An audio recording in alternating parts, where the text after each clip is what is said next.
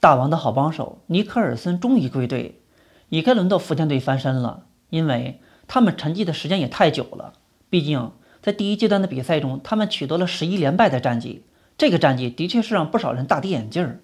很多人实在是不理解王哲林与陈真坚这两人究竟是怎么了，尤其是王哲林，在第一阶段的比赛中，很明显他不在线儿，而且他的表现与以往相比的话，差的太多太多了。但熟悉王哲林的粉丝们应该都知道，想要让王哲林达到百分之百的输出，一名强力的后卫是必不可少的。